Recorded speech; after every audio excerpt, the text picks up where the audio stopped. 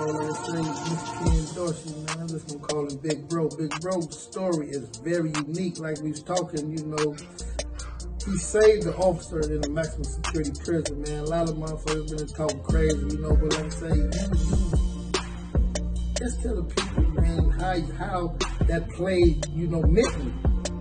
Oh man, it's, it's, it's a big challenge.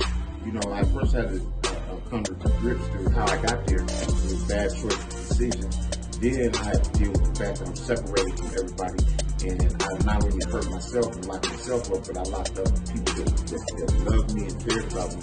They were doing time with me too. You know, so it, it, it was really, really big uh, on me, weighing hard on me.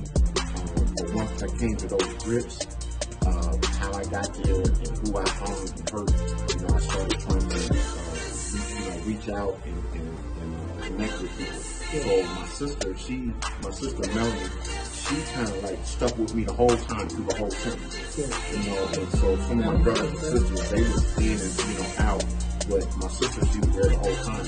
And I was always thinking about what's going on with my son, and what's going on. She was asking me, you know, what's going on with your son? And, you know, I don't know because I ain't in contact with him. So I, that was a concern because I was always praying, you know, that hey, look, Lord, if you let me out of the situation, you know, I'm getting right. I'm gonna get it right this time.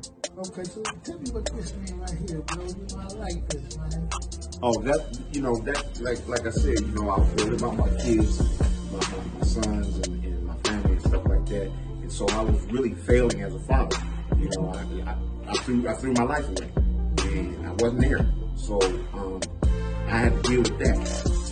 But this right here is like a redemption story.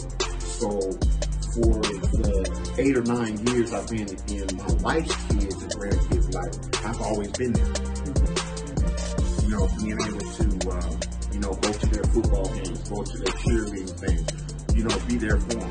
So I was, Grandfather, right, and uh, even you know, her her, uh, was able to be a father figure figure for them.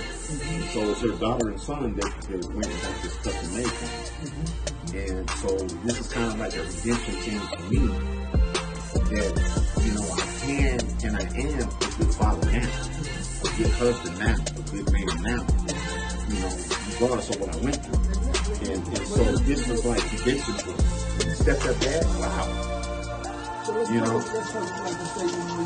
Like your your your sons, man. You know, like I say, um, I I can actually relate because like I, I was just in Omaha, Nebraska, maybe you know three weeks ago, man. Uh, like I said, my daughter was born. I was in prison. I wasn't there. You feel me? I actually haven't I haven't seen her for like eight years. And then when I went to Nebraska, you know, I'm not trying to make up time. I'm just trying to catch up. Right. Because when we was incarcerated, we, we couldn't be the father from the, the loving father. We could be a father through a pen and paper. But you said when you was incarcerated, you had no contact with your boy.